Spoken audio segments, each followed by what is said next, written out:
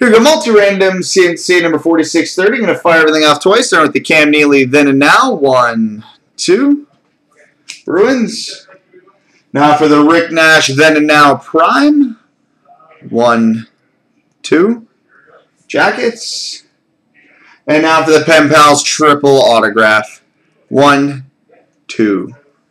Devils. So there we go, boys and girls, children of all ages.